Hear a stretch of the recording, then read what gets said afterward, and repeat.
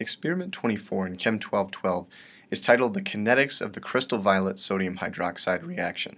And in this experiment, we're going to explore the field of chemical kinetics. So we've talked a lot about thermodynamics already and the applications of thermodynamics like equilibrium and KEQ, but we haven't really touched on reaction speed. So in this experiment, we're going to learn how to measure reaction speed by monitoring concentrations over time and how to determine activation energy by looking at the dependence of reaction rate on temperature.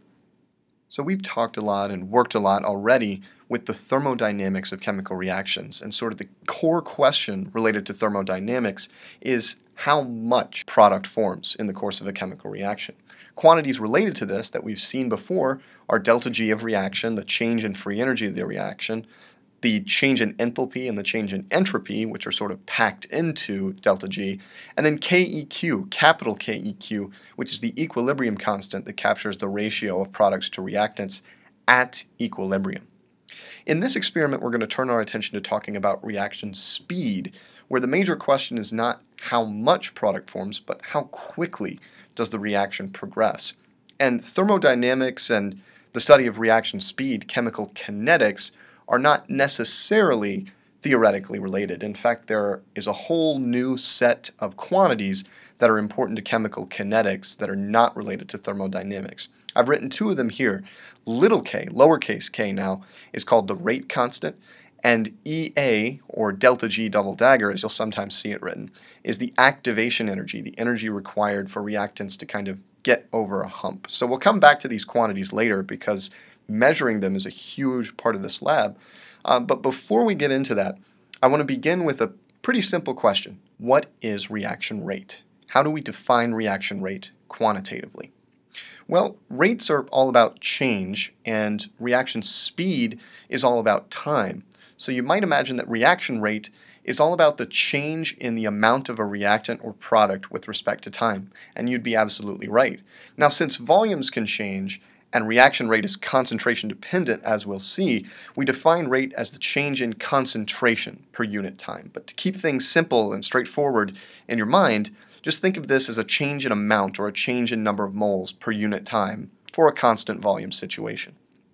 Now, if we take that unit time and we make it smaller and smaller and smaller and smaller until it's teeny tiny, infinitesimally small, we arrive at what's called an instantaneous reaction rate, and we can capture this change over change in time as a derivative. The derivative I've written here is the change in the concentration of P, P for product, dt with respect to time. So it's dP dt. That's one way to capture reaction rate. A graph of the concentration of P with respect to time might look something like this, and what that derivative captures is the instantaneous rate of change, or the slope of the tangent line to this curve of the concentration of P versus time. So early on, you can see based on the slope of the curve, based on the fact that it goes up quickly, there's a large rate, and as time goes by, the rate gets smaller. And this is the typical kind of pattern you'll see in the reaction rate as time increases. The rate gets smaller and smaller as the reaction proceeds forward. Now this dP/dt derivative is not the only way to represent reaction rate. There are multiple species that are forming and being consumed, and we can use any of those and follow any of those to capture the reaction rate. So another way to actually write the reaction rate that's mathematically equivalent, the two derivatives are equal, is as the negative of the derivative of reactant concentration with respect to time, or negative dr dt. And that's actually the form we're going to use in this experiment because it's very easy, as you'll see, to follow the concentration of colored crystal violet, much more difficult to follow the concentration of the colorless CVOH product. So you're going to see reaction rate in this experiment written as negative dCV plus concentration dt. Now to talk a little bit about the reaction of interest, crystal violet is a cationic species and it's going to react with hydroxide, negative, to form an adduct of the two that has a new covalent bond between oxygen and carbon. So crystal violet is a carbocation, positive charge on carbon, hydroxide, negatively charged anion. They form a bond to one another to form this R3COH compound that you see right here. So the stoichiometry of the reaction, which I'll draw your attention to right now, is one to one. The reactants are coming together in a one to one ratio to form the products. There are two factors related to chemical reactions on which reaction rate depends in a really important way, and we're going to measure that dependence in this lab, so I want to talk a little bit about the theoretical background here before we talk about some of the experimental particulars. So the first is concentration, and we capture the relation between reaction rate and concentration using something called the rate law. And the rate law is an equation that literally relates the reaction rate in terms of something like negative dCV dt to the concentrations of the reacting species. That's the concentration of the reactants. The products don't enter into the rate law at all. And we show this dependence by writing out something like this. There's a little constant, k, little k, called the rate constant. That's multiplied by the concentrations of all the reactants raised to some power. The rate may not depend on all of the reactants, but we can still write the rate law in this form because if m or n or any of those exponents are equal to 0, the whole factor becomes 1 and the concentration dependence for that reactant drops out. So once again to remind you, we call this little k the rate constant, and this is the constant of proportionality between the reactant rate, that derivative on the left-hand side, and the concentrations at that instant, which show up on the right-hand side. Now these exponents m and n are pretty special. These are called reaction orders, or orders with respect to that reactant. So we say m is the reaction order with respect to Cv+, plus, n is the reaction order with respect to OH minus, and the overall or total reaction order is the sum of m and n. Now, because the right-hand side of the rate law looks a lot like what you see in the definition of the equilibrium constant, it's worth stating right now that these numbers m and n are not necessarily equal to the stoichiometric numbers in the balanced chemical equation. So if you think back to equilibrium in our studies of KEQ, those were equal to the stoichiometric coefficients. But that's not the case here. And kind of if you think about it, if that were the case, we wouldn't ever really need to study chemical kinetics, right? All we'd need to do is figure out the stoichiometry of the reaction. But because they're not necessarily equal to those stoichiometric numbers or coefficients, we need to actually monitor the change in concentration over time. That's why chemical kinetics is necessary in a sense, to figure out these orders M and N. And we won't get into this, but they tell us detailed mechanistic information about how the reaction actually occurs at the molecular level. The second big factor on which reaction rate depends is temperature, and that dependence is actually built into the rate law because the rate constant is temperature dependent. It changes with temperature. To think about how this works, I'll draw your attention to a relation that we've already seen, which is the dependence of KEQ on temperature. Remember, there's a relation between delta G, or the delta G of reaction, and the KEQ. Delta G is equal to the negative RT natural log of K. If we rearrange that, we get that KEQ is equal to e to the, or the exponential of, negative delta G over RT. And we can write an equivalent relation for the kinetic case and the rate constant and say that little k is equal to a, just a multiplicative constant, times the exponential of the negative activation energy now divided by RT. So where we see the delta G of reaction showing up in that thermodynamic equilibrium relation, the kinetic relation, which is also called the Arrhenius equation, has the activation energy. A graph of the rate constant versus temperature would look something like this, and what we see is that the rate constant increases with increasing temperature. This should make sense intuitively. As the temperature goes up, the number of collisions between molecules in a given amount of time increases, so the reaction rate ought to increase, and that's exactly what the Arrhenius equation is telling us. And to shed a little more light on this concept or idea of activation energy, what I'll plot for you is something called a reaction coordinate diagram, where we have reaction progress on the x-axis and free energy on the y-axis. And so on the left-hand side, we have the reactants. On the right-hand side, in that kind of lower valley, we have the products. And notice that there's a hump there. There's a little bit of an energy jump that the reactants have to make before they can form products. And this is true even if the products are lower in energy than the reactants. There's still a little bit of a hill to climb energetically. That hill is what we call EA, or activation energy.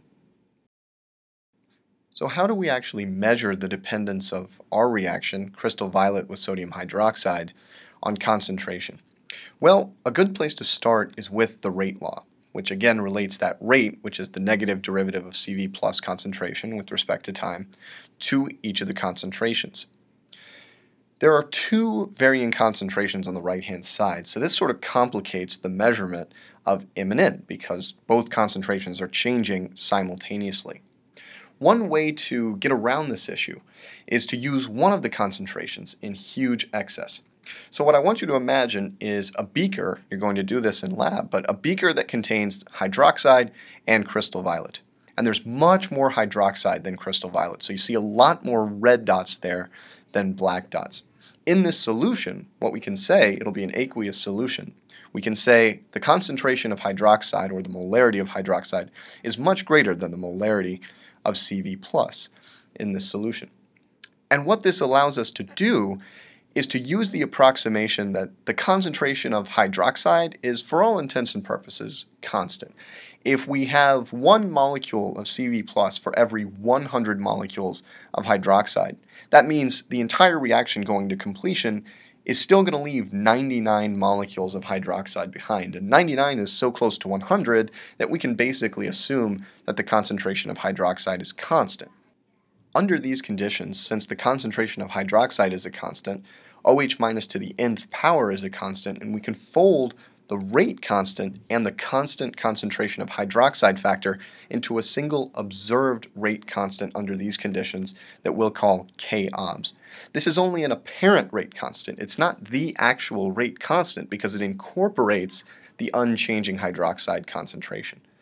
And under these conditions, we can write the rate law as equal to K obs times only the concentration of Cv plus raised to the m now, because that's the only concentration that's changing appreciably. So now we have the rate law in terms of only one concentration, the concentration of Cv plus. And what that means is we can monitor the concentration of crystal violet over time to determine the appropriate value for m. So we can use this form that you see at the bottom to determine m.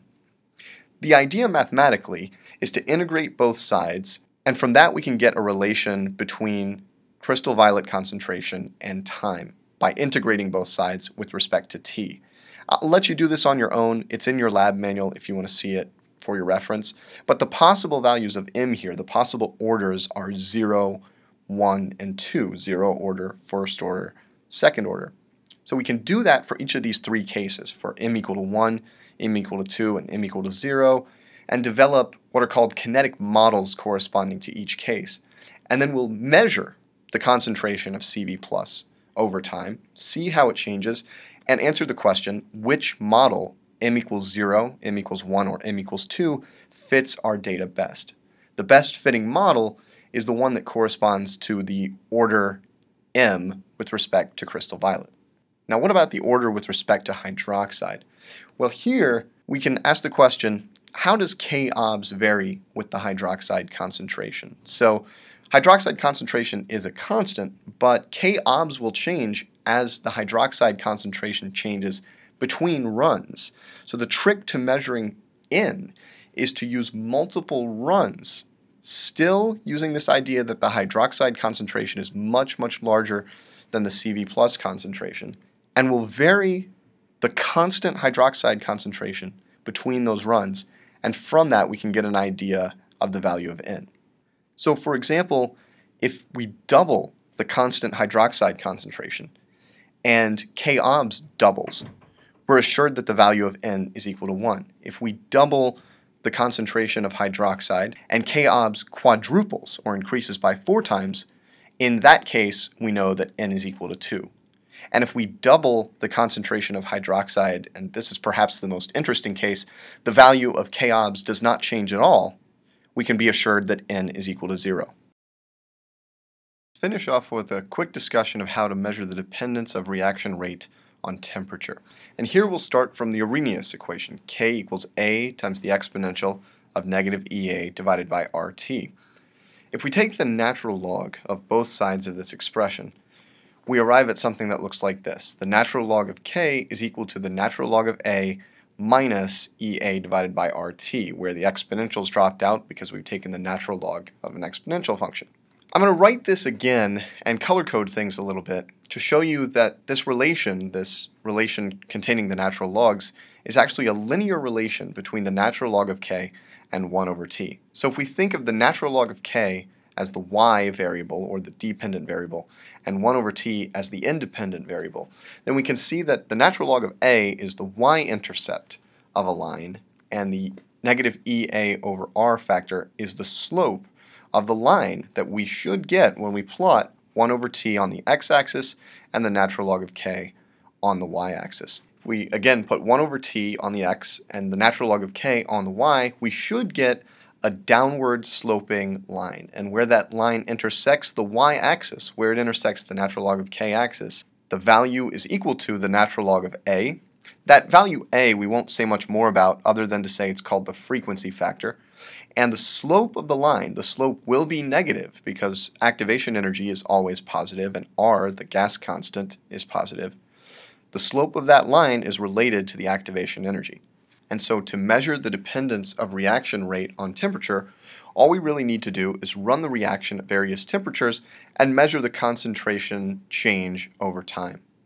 From the change in concentration over time and the form of that change, we can arrive at K values and we can tabulate K for all the different temperatures. We'll do three in this experiment. The result, again, should be a downward sloping line where the slope is related to negative EA over R, and the y-intercept, where it intersects the y-axis, is equal to the natural log of A.